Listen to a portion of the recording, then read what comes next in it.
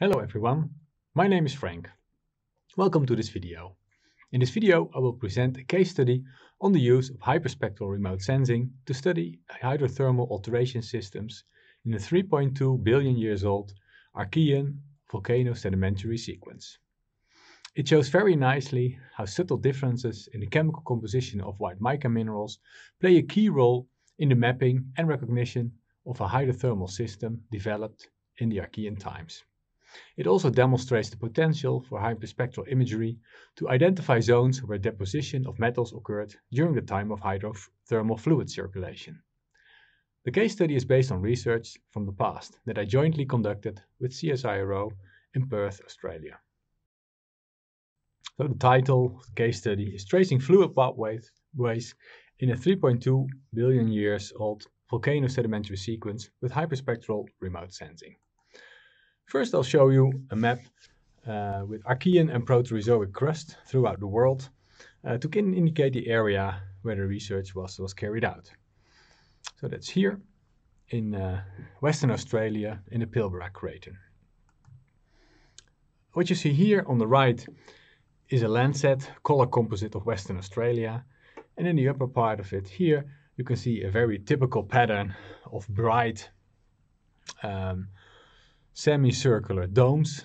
these are granitoid complexes and uh, some greenish areas in between, squeezed in between these domes, that are greenstone belts. This is the Pilbara Craton, uh, consisting of, of Archean rocks.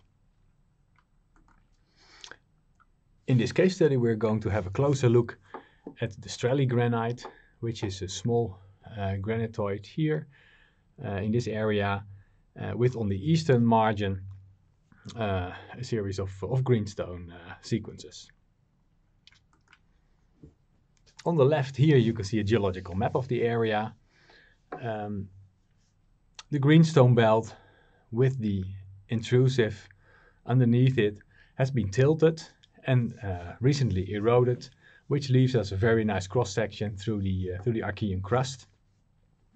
In the, in the geological map, you can see um, the greenstone belt here, which consists of volcanic rock. It is overlain by sedimentary layers here, and uh, it's intruded by, by a granite, the Strelley granite, and a series of uh, mafic, ultramafic dikes. And there are also a few stars that you can recognize here and here and here and here. Uh, and these mark uh, massive sulfide deposits um, that were formed at the Paleo seafloor and which is now marked by a chert called the Marker chert. This whole granite greenstone terrain is approximately 3.2 billion years old, as I already said. And uh, this area is very special because uh, geological textures and structures have been exceptionally preserved. It's quite amazing what, what you can see. And I'll, I'll, see, I'll show you some examples uh, of it later on. Then on the lower right, um, you can see a cross section or a sketch of the situation uh, during um, um, deposition of, of, of, the massive sulfide deposits. We're here in a submarine environment. Um, so in blue, that's the, that's the sea. And then uh, there is an, uh, a paleo uh, a seafloor with volcanism. And within the sequence, uh, there's also a series of, of uh, volcanic deposits. And below that, you can see uh, a series of uh, granitic intrusions. so you can imagine that this is an, an environment with lots of heat, steep geothermal gradients, and, and a lot of fluids available.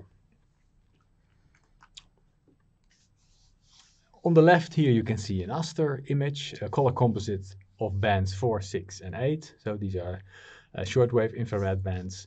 Um, and in this uh, particular color composite, uh, you can recognize hydrated minerals in red. So all the red, reddish pixels, they, uh, they do uh, contain uh, hydrothermal minerals. And you can see that there is this quite an, an, an accumulation of it here in this uh, near the top of the volcanic sequence and here in the south as well, but also near the top of the, the Strelley granite you can uh, you can recognize uh, hydrothermal uh, minerals. Um, Yeah, so these deposits are, are massive sulfide deposits of the, the VMS uh, type, volcanic massive sulfide uh, deposits. And um, on the lower uh, right, you can see a conceptual model of, of how these deposits are formed. Um, yeah, so you can see here an, a, paleo or a seafloor um, with a heat source, uh, which is the intrusion. And what happens here is that water within the, uh, the seafloor is heated and uh, discharged uh, at hydrothermal vent sites, um, and where, uh, because of steep physical-chemical gradients, the massive sulfides deposit. Um, and um, well, you get so this is sort of fluid convection that that occurs in in this in the seafloor, and there's seawater, cold seawater recharge uh, away from the vent. Yeah, and that is uh, percolating downward into the into the seafloor, and then it gets heated and then again discharged again uh, uh at the hydrothermal vent sites. And while circulating through the uh, volcanic stratigraphy, base metals are are being picked up. Some some evidences of this in the field so what you can see here are uh, fossil hydrothermal vents. Here in, in the middle you can, you can see one. Yeah, so this is quite a uh, beautiful, delicate structure that has been preserved. Um, and you can see that, well, they, they, they look quite similar to, uh, to what we nowadays see um, at the mid, uh, mid-oceanic rise. Uh, so there are also uh, there's active hydrothermal venting um, where also massive uh, sulfides are being deposited, but where there are also abundant uh, uh, forms of, uh, of life. So they're interesting sites, and um, this is evidence that 3.2 billion years ago this already occurred um, on, on, in the, uh, on the Earth. Another interesting texture is uh, or structure are fossil pillow la lavas or basalts that we can also find in the field. Um, in this uh, in this photograph here, you can see uh, these these circular structures. Those are your pillows. Uh, so most likely um, extruded lava in a submarine environment. So by interaction with the water, you get these these nice pillows. And this this process we can also compare with, for instance, recent eruptions in in Hawaii uh, underwater where also these pillows uh, are being formed. Uh, interesting about the, the fossil uh, pillows here are that they are completely altered to quartz and sericite. So all the, the mafic minerals have been, been completely replaced, which is an evidence or indication uh, of, of extensive hydrothermal alteration that occurred in the, uh, in the volcanic rock in the area. And also they, they contain microbial uh, biomarkers, so which is also interesting from an uh, an origin of life point of view. Okay, so then uh, we can pose uh, the following question. Can we find indications of hydrated minerals with remote sensing? Because that would be interesting. Eh? And then not only, uh, as I showed with Aster, but in much more detail. So can we find indications of hydrated minerals? Um, with high resolution remote sensing imagery and can it also tell us something about uh, the hydrothermal processes that, uh, that occurred in the past. And therefore, um, HyMap hyperspectral images were, were acquired from this area, um, largely, well, mostly from the, the, uh, the, the, greenstone belt. So that, that's here and here. Uh, and uh, what you see here are four strips um, so four images that have been flown. And they're here, they're imaged in such a way that uh, they simulate natural colors. And well, if, if, you look at the image, you can see that it's basically greens and reds and so, some some some pale palish colors. Um, yeah, and that's exactly uh, the colors that you also encounter in the field. So we, you can see some photographs here uh, the green is uh, mostly coming from spinifex vegetation, which is pale green.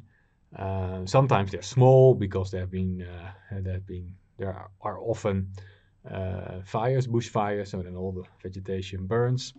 Uh, but after some time, the uh, the bush uh, well start growing again and continue to grow. So in parts it's quite dense, in other parts it's uh, uh, it's more sparse the vegetation. Um, I like the sparse, sparsely vegetated areas because the spinifex is, is quite terrible to, to walk through because they're very well because of the needles. They stick stick to your legs. Anyway, there's also abundant iron so uh, the rock is, is coated by, by, by iron because of weathering. Uh, but the nice thing about this area is that the weathering is not very deep. So it's just a superficial layer. Uh, and that makes it uh, a, a good area to study with remote sensing methods because you don't have to deal with thick uh, laterite uh, cover. Um, so this is an, uh, zoom, zoom, uh, zoom in into one of the areas. It's a kangaroo caves area. It's called named after the kangaroo caves VMS occurrence. Um, it's indicated by this white star. Yeah, you can see, you can recognize the volcanic sequence here. Uh, so it's near the top of the volcanic sequence. Uh, above it is a series of sediments, and below it is the granite, which is which is fractured. Um, and we're, we're going to have a look at this uh, this spot here, uh, this yellow uh, yellow dot yeah, from this from this image, you can see that there is uh, the rock is quite pale, um, paler than, than, for instance, uh, the area adjacent to it. Okay, one note is that uh, here you can see the straight line, but that's just the the the the, the border uh, of this uh, of one of the images. So there's not really a seamless. Uh, seamless match of the two images, but that's okay. We, we, we know that, so we, we're not going to interpret that as a, as a fault or so, of course. Right, so um, the photo in the upper right is a photograph, field photo of this area, and you can see that the rock, it's a volcanic rock, it's an andesitic, you know, it's an, a dacitic, uh, dacitic rock. You cannot recognize it from, from, from this distance, but it's, uh, it's broken, it's uh, bleached, and it, uh, it looks pretty much, uh, pretty much altered. And we can take a thin section and study that, and this is then what we see. Um, we can see a volcanic uh, texture with an agglomerate, agglomerate of, of uh, feldspar crystals, which have been completely altered to, uh, to sericite and quartz in a matrix which is finer grade, but which also consists of uh, sericite and quartz. So it's, it's completely altered rock, but the original texture is still uh, visible. Uh, this, uh, this is just a refresher. Uh, I was talking about my, white micas. Well, muscovite is a potassic white mica. It's, uh, it's a sheet silicate and it's, uh, the crystals are formed by, uh, by, by sheets, thin sheets made of silicon tetrahedrons. Um, yeah, as you can see here, and they form a nice a nice network and in between there are octahedral layers and interlayer and interlayers and in the octahedral layers you can uh, find aluminium, iron and magnesium and that's important because uh, the amount of uh, well the relative amounts of the, these uh, elements they can be measured with remote sensing methods which is quite uh, quite amazing. The other thing that's important is that um, the mineral is hydrated so it contains OH bonds and whenever the OH bonds are, are bound to aluminium, iron, or magnesium, um, yeah, then uh, this particular bond absorbs uh, electromagnetic radiation in the infrared, and that's uh, something we uh, we measure in this case study. So let's uh, let's continue. Um, in the field, we have set up a nice field lab with with a portable infrared mineral analyzer here, a PIMA, and a laptop, and a series of rocks that we've measured. Um, the rock that were, was, was collected from this particular site that we have already looked at um, was also measured and a reflectance spectrum is uh, shown on the lower left on with on the x-axis uh, the infrared uh, uh wavelength between 1300 and uh, 2500 uh, nanometers. And on the y-axis is, is the reflectance from 0 to 1 and if you are a little bit familiar with reflectance spectra of minerals, then you can uh, recognize uh, the mineral muscovite here, uh, potassic white mica. Um, and well, this is quite uh, quite diagnostic. We have an OH uh, absorption feature here. Near 1400, we have a relatively shallow water feature. Near 1900, a very prominent uh, absorption feature near 2200 because of aluminium hydroxyl uh, bond. And then we have two overtones, that's uh, uh longer wavelength, uh, wavelengths. Yeah, so this is very typical reflectance spectrum of muscovite. And then, of course, the question is, can we also measure it with uh, the airborne hyperspectral data? Uh, first, a little bit about the concept of, hi of hyperspectral uh, uh, data. So it's image data, it's flown by a plane, um, and then um, yeah, we collect images, and then if we want to say something about the, the, rock mineralogy on the ground, we have to compare then the pixel that is corresponding to the site that we're investigating. Um, unless normal photographs, uh, yeah, this with hyperspectral remote sensing, a large number of uh, images are acquired at the same time uh, of one area. Um, and it, it's a stack of images where each image is an, a measurement of the uh, reflectance uh, of, the, of the ground at a different wavelength. So what you can do for one pixel, you can uh, take all the different uh, re uh, reflectance values at a different wavelength and you can uh, plot them in an XY plot, as you can see here. And in that way, you can reconstruct the reflectance spectrum. Yeah, and you get the same kind of spectrum as we saw before in previous slide, but with the difference here is that uh, uh, the atmosphere absorbed some of the radiation of the water features, especially near 1.9 and 1.4 micrometers. So those features you cannot study very well, but the ones between two and two and a half micrometers you can you can study. Uh, and that's exactly the um, uh, the wavelength range where we have the aluminium hydroxyl uh, uh absorption feature of, of muscovite. So let let's then see uh, how that works out in this particular test site yeah, we were still in the same uh, area.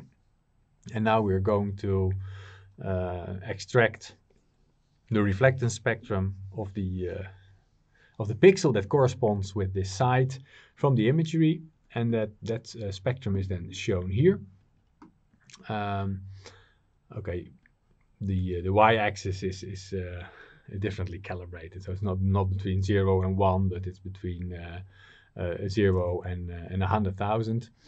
Um, but on the y-axis we have okay we have wavelength in micrometers. In the in, in the reflected spectrum below it's in nanometers, but that doesn't matter very much. Um, okay, and then we have the atmospheric bands here and here. So this one, these two we, we have to ignore. But if we go to longer wavelengths, we can see that there's a very clear absorption feature near 2.2, which is the same as this one at 2200. And we have we can also see those two overtones yeah, that we can also recognize here in the reflectance spectrum uh, measured on the ground. Yeah, so this this confirms quite well that we can measure muscovite from a distance with the hyperspectral data. And even better, uh, we can also measure uh, uh, subtle shifts in, in the wavelength position of this feature at 2.2 micrometers. So I'll show, I'll show that, what that looks like in, in a minute. Um, yeah, so this is again the, the natural color composite of the uh, of the kangaroo caves area. And in the next slide, I'm going to show you um, the different white micas. And then we get an image like this. And so this is quite colorful.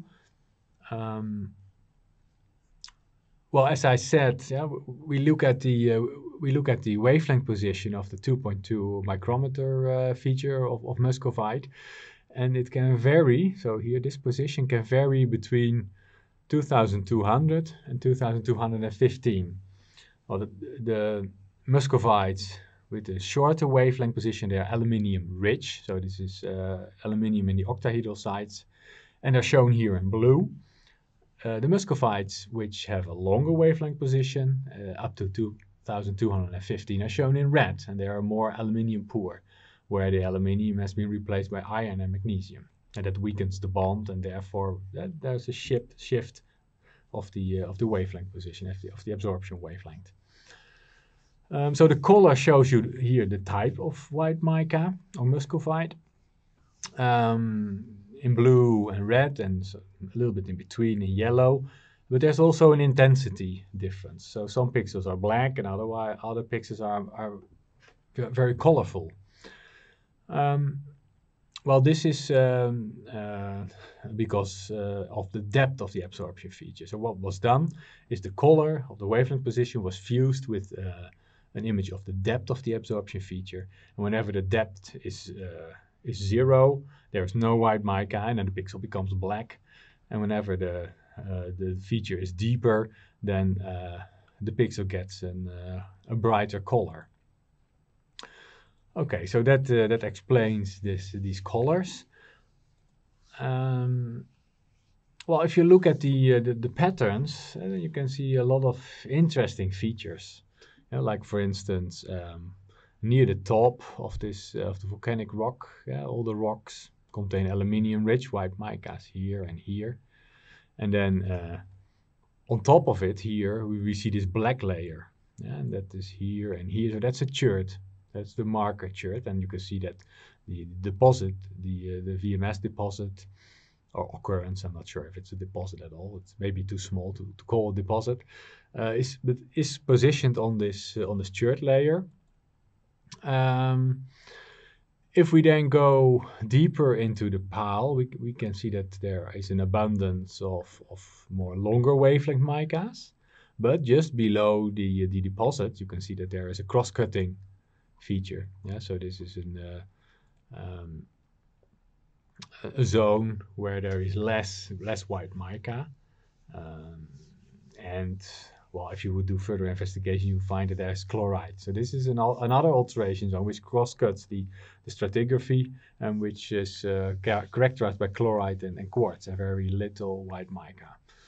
Uh, and this zone extends here near the bottom of the of the volcanic pile as well. But then if we go deeper again towards the uh, granite, uh, first we can see that there is uh, some abundance of, again, uh, aluminium-rich white micas, uh, which is probably related to, to a higher temperature mica here.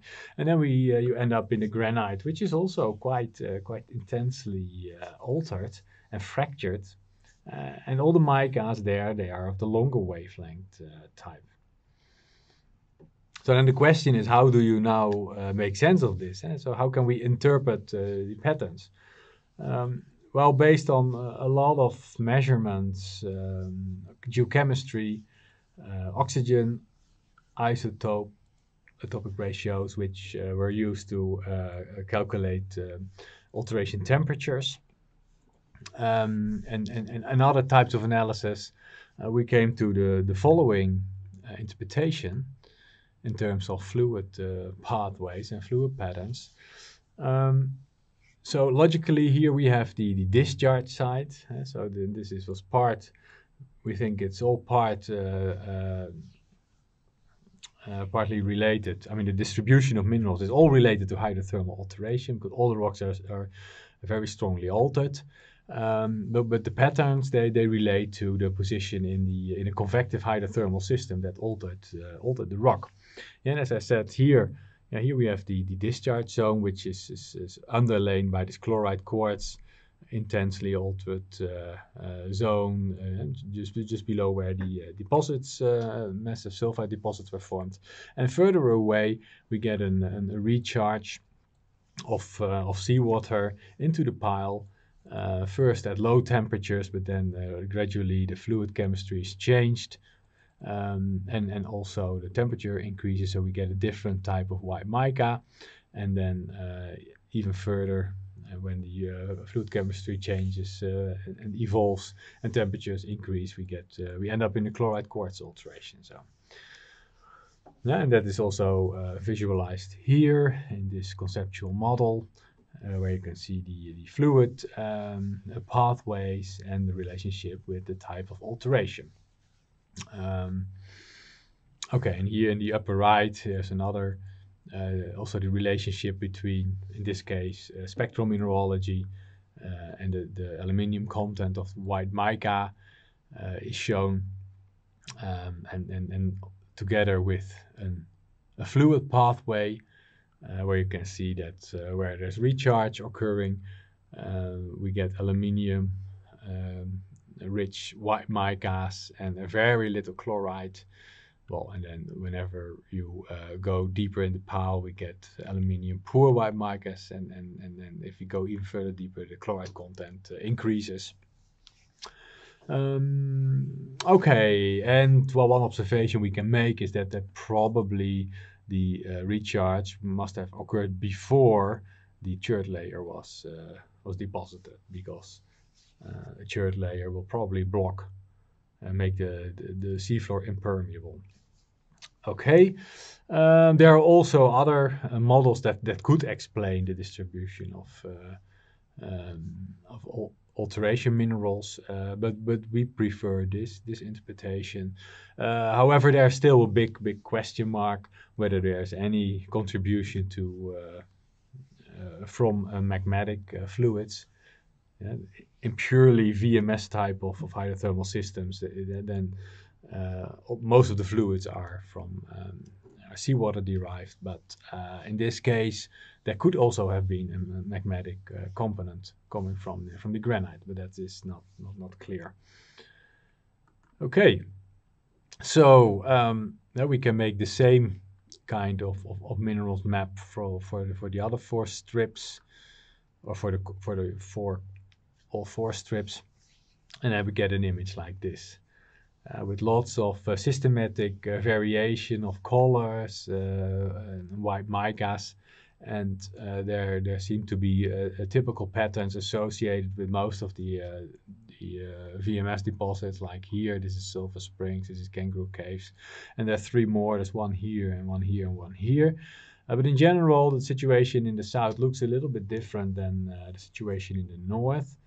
Um, why that is. Well, maybe the, the, conditions were, were different. What you can also see is this onlap of of uh, of sediments uh, on top of the uh, uh, well the, the, the, the chert layer which, which occurs here. So so perhaps uh, the onlap occurred uh, already quite early in the in the development of the hydrothermal system, and therefore. Um, uh, you get different conditions and a different distribution of hydrothermal minerals. Okay, but that is still not that's not clear. But you can imagine that this is this information is quite useful if you are exploring for uh, for VMS deposits, yeah? because the, the, spatial patterns that are visible in the white micas they they, they, they, they point you to some of the uh, uh, the discharge zones. So okay, this is the last slide. Um, I'll end with a summary three points. So the first is key hydrothermal minerals can be identified and mapped with hyperspectral remote sensing techniques. Uh, that, that, that's important and that is typical here in this area. Doesn't mean you can do that everywhere. If there's a thick lateritic cover, things are quite quite uh, well different, more difficult. Not impossible, but more difficult. And if there's abundant vegetation, then also uh, it becomes much more challenging to find your and map your key hydrothermal minerals. White mica minerals are formed, uh, formed under specific conditions, pressure, temperature, and fluid chemistry, and therefore their occurrence in the rock record can be used to reconstruct and constrain paleo conditions.